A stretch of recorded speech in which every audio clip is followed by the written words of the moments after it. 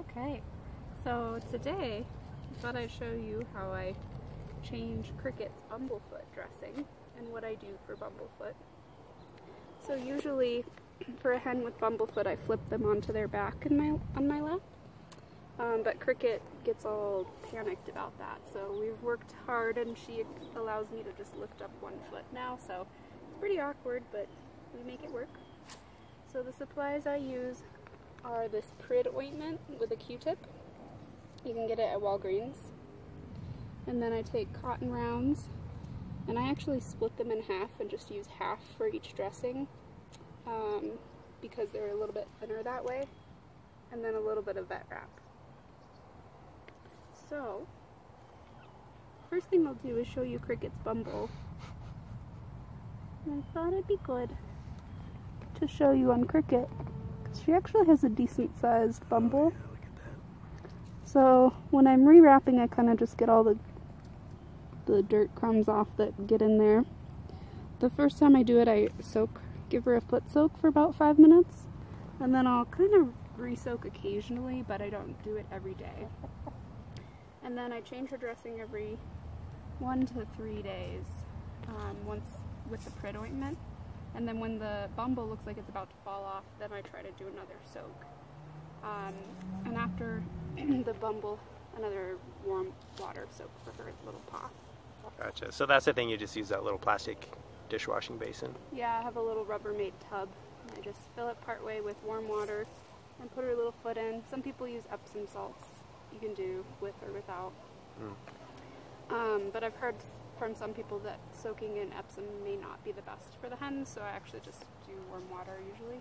Mm-hmm. Um, and then after the bumble's fallen off, I use a little bit of antibacterial ointment, like a triple antibiotic, and I do the same exact dressing, just do that for a couple of days, and then I let it go dressing free.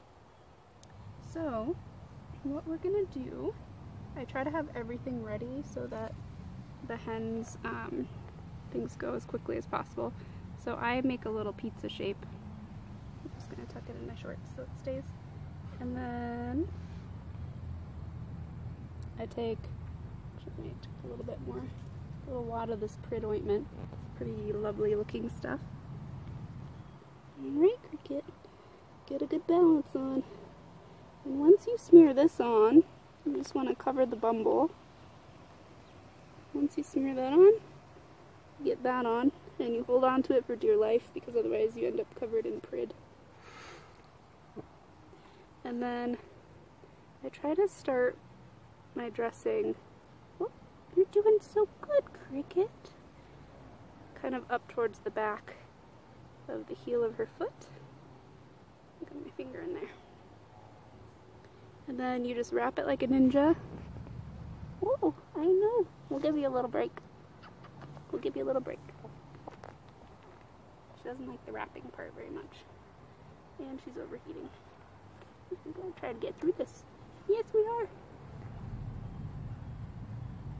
Oh, you're doing so good. So good, my love. very cooperative for Instagram. Very cooperative, yes. Very cooperative. Okay, just a few more seconds, Cricket.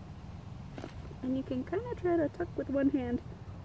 This is always easier with them on their backs, but Cricket is a bit of an exception.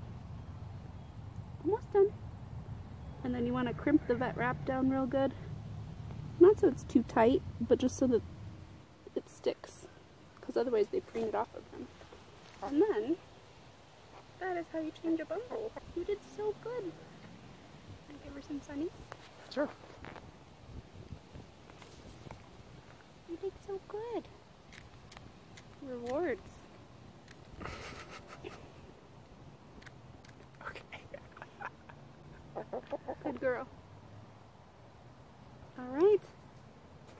I'll try to show you the um, bumblefoot again after it's fallen off when I do a back, uh, antibacterial ointment on it so you can see the difference.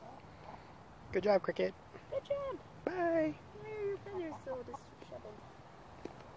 I really wrap it and kind of poke it down, squeeze it down. Squish it so it sticks? Yeah. Yeah. And because they preen it off pretty good, so then they look like they have a trail of toilet paper. it's really funny. You did so good. And then I cover the lid because sometimes they've also jumped in it. How you put the lid back on?